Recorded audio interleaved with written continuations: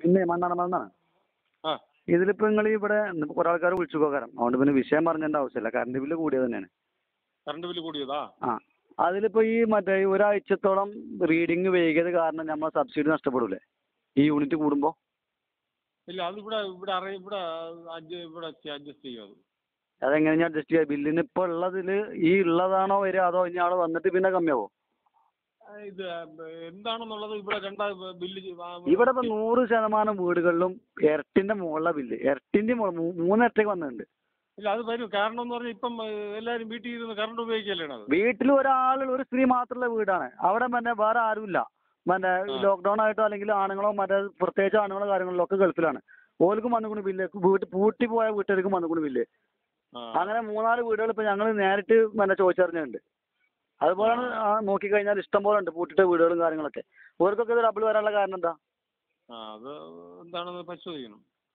എങ്ങനെയാണ് പരിശോധിക്കേണ്ടത്? എന്ത് എങ്ങനെയാണ് ഇവിടെ പരാതിയുണ്ട് അത് പറയും ഇത് ഇങ്ങനെ വിട്ടാൽ പറ്റില്ല കാരണം അത് നൂറ് ശതമാനം വീടിലും ഡബിൾ അല്ല ത്രിപ്പിൾ കറണ്ട് ബില്ല് വന്നു കഴിഞ്ഞാൽ ഇത് ഈ സമയത്ത് ആരെ കൊണ്ട് നടക്കാൻ കഴിയണു? ആ ഈ സമയത്ത് അങ്ങനെ കറണ്ട് മനഃപൂർവമാക്കും ബില്ലൊന്നും കൂട്ടി തരുന്നില്ല അതിൽ കാണുന്ന റീഡിങ്ങിന്റെ അനുസരിച്ച് ചെയ്യാൻ പറ്റുള്ളൂ. അതിന് എങ്ങനെയാണ് ഇത് പരാതിപ്പെടേണ്ടത്? നിങ്ങൾ മീറ്ററിന് ഫാൾട്ട് വല്ലതും ഉണ്ടോ എന്ന് നോക്കണം. സാറേ നൂറ് ശതമാനം വീടുകളിൽ എല്ലാ ഒരു വീടല്ല ഞാൻ പറയണേ എല്ലാ വീടുകളിലും ആകുമ്പോൾ എങ്ങനെ ഇത് മീറ്ററിന്റെ ഫാൾട്ട് വരിക ആ അപ്പൊ പിന്നെ അത് അത് ഓടിയിട്ടുള്ളതാണ്. ഏ? റീഡിങ് വന്നിട്ടുള്ളതാണ്. ഇതിനൊരു പരാതി വാ- കൊടുക്കണം. അതിനിപ്പോ ഏത് രീതിയിലാണ് പിന്നെ ഏത് രീതിയിലാണ് പോകേണ്ടത്? അതിന് പരാതി കൊടുക്കാനുള്ള വകുപ്പില്ലല്ലോ. അപ്പൊ പിന്നെ ഈ അടച്ചു പൂട്ടിയ വീടുകൾ എങ്ങനെ? പിന്നെ മിനിമം ചാർജിന് അപ്പുറം വരുന്നത് മുന്നൂറ് രൂപയൊക്കെ ബില്ല് വരുന്നത്. അത് അതിന് നിങ്ങൾ ഐക്ക് ഒരു പരാതി കൊടുത്തു എന്റെ വീട് അടച്ചിട്ടിരിക്കുകയായിരുന്നു. ഒന്നും ഇത് അവിടെ ഇതിലാണ് എന്താണ് തന്നെന്നുള്ളത് നോക്കൂ. ഇതിപ്പോ നിങ്ങൾ ലോക്ക്ഡൌൺ ആണ്. വീട്ടിലെല്ലാരും കൂടെ കുത്തിരിക്കുന്ന ടൈമാണ് സാധാ സ്വാഭാവികമായിട്ടും ബില്ല് കൂടുന്നില്ല ഒരു കാരണമാണ് പറയുന്നത് അങ്ങനത്തെ അല്ലാത്ത വീടുകൾ ഇവിടെ ഇഷ്ടം പോലെ ഉണ്ട്. അവിടെയൊക്കെ വന്നിക്കണു. അല്ലാത്ത വീടുകൾക്ക് നിങ്ങൾ ഒരു പരാതി തന്നാൽ നമ്മളത് പരിശോധിക്കാം. അപ്പൊ അല്ലാത്ത വീട്ടുകാർക്ക് മാത്രമേ ഉള്ളൂ ഈ മറ്റേ പരിഗണന ഉള്ളൂ അല്ലാത്തവർക്കില്ല പിന്നെ വെറുതെ ആ. പറയ്. നിങ്ങൾക്ക് ഇപ്പൊ നൂറ് ശതമാനം ബോധ്യമുള്ള വീടാണ്. ഇത് അങ്ങനെ ഓടിയിട്ടില്ല. അടച്ചിട്ടിരിക്കുന്ന വീടാണെന്ന് പറഞ്ഞ് അതെങ്ങനെ നിങ്ങൾക്ക് അപ്പൊ പാട്ട് പറയണു ആ വീടുകൾക്ക് മാത്രം നിങ്ങൾക്ക് എങ്ങനെ പരിഗണിക്കാൻ കഴിയണത്? അല്ലാതെ വീടുകൾക്ക് പരിഗണന കൊടുക്കാതെ? ഇപ്പൊ ഇല്ല, ആ ബി- സാറിപ്പോ നിങ്ങൾക്ക് ഒരു ആയിരം റുപ്യ ബില്ലുള്ള വീട്ടിൽ ആയിരത്തി അഞ്ഞൂറ് റുപ്യൊക്കെ വരും. മനസ്സിലായില്ലേ? നിങ്ങൾക്ക് ബോധ്യമുള്ള വീട് അല്ലെങ്കിൽ ബോധ്യമുള്ള അപ്പൊ വീടിന് നിങ്ങൾ അഡ്ജസ്റ്റ്മെന്റിൽ കമ്മട്ടായിട്ടാ കൂട്ടണേ? ഒരു മറ്റേ റീഡിങ്ങും കാര്യങ്ങളും ആയിട്ടൊന്നല്ല. അല്ല ഹലോ. ആ.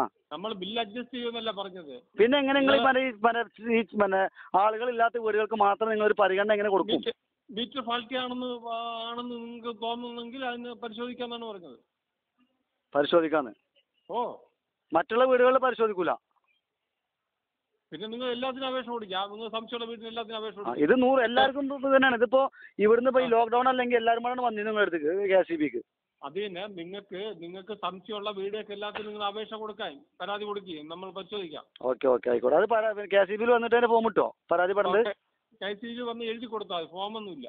ഫോമൊന്നുമില്ല. പരാതി വെള്ള പേപ്പറിൽ എഴുതി തന്നാൽ മതി. ഒപ്പിട്ട് തന്നാൽ മതി. വെള്ള പേപ്പറിൽ എഴുതി തന്നാൽ മതി. Okay okay. എല്ലാവരുടെ പരാതി ഒന്നിച്ചിട്ട് ആണ് കൊടുന്നേരാം. എല്ലാവരുടെ പരാതി ഒന്നിച്ചല്ല. ഓരോ നിങ്ങൾക്കുള്ള പരാതി നിങ്ങൾ പറയാം. നിങ്ങൾ എല്ലാവരുടെ പരാതിയും കയറി പിടിക്കണ്ട. അല്ല ഇപ്പൊ ഈ സമയത്ത് എല്ലാവർക്കും മഴ തരാൻ പറ്റുമോ? നിങ്ങൾ നിങ്ങൾ നിങ്ങൾ അവിടെ പഞ്ചായത്ത് മെമ്പറാണോ? ഞാൻ പഞ്ചായത്ത് മെമ്പർ ഞാൻ അവിടെ പാർട്ടി സെക്രട്ടറിയാണ് ഏത് പാർട്ടിയുടെ? മുസ്ലിം ലീഗിന്റെ. മുസ്ലിം ലീഗിന്റെ പാർട്ടി സെക്രട്ടറി ആണെന്ന് പറഞ്ഞെന്ന് പറഞ്ഞ് എല്ലാ കൺസ്യൂമറുടെ പരാതി ഒരാൾക്ക് സ്വീകരിക്കാം ഒരാൾക്ക് കൊണ്ടുവരാൻ പറ്റില്ല പറ്റൂല. അപ്പൊ എല്ലാവർക്കും വരാനവിടെ പറ്റുമോ അത് പറയുന്നത് എന്നാ പറഞ്ഞേക്കാം.